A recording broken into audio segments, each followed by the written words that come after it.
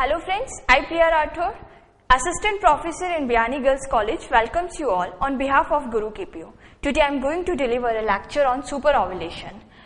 The reproductive cycle of a ruminant female is such that an ovarian follicle releases a single egg at a time.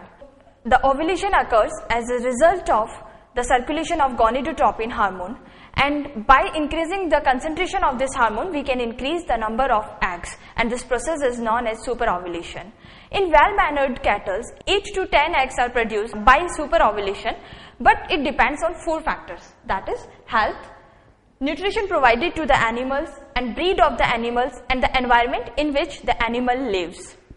Now we come to the procedure of superovulation. The females are induced for superovulation is injected by the gonadotropin hormone.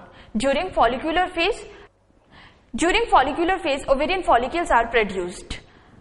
Uh, the ovarian follicles are grow and filled with the fluid and the space which is filled with fluid is known as antrum and the follicles are known as antral follicles. Normally an ovarian follicle develops and release a single egg but in the case of superovulation a number of ovarian follicles develops and release many eggs. The female to be superovulated injected with prostaglandin F2A hormone so that synchronized estrous cycles could be developed in them.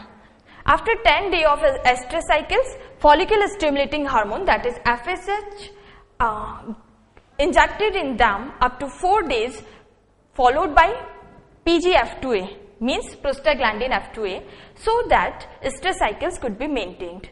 The females artificially inseminated eh, the females artificially inseminated and eggs are fertilized and these egg, fertilized eggs undergoes into developmental stages. Thank you, thank you and thank you for watching this video. For more details you can visit our website that is www.gurukpo.com.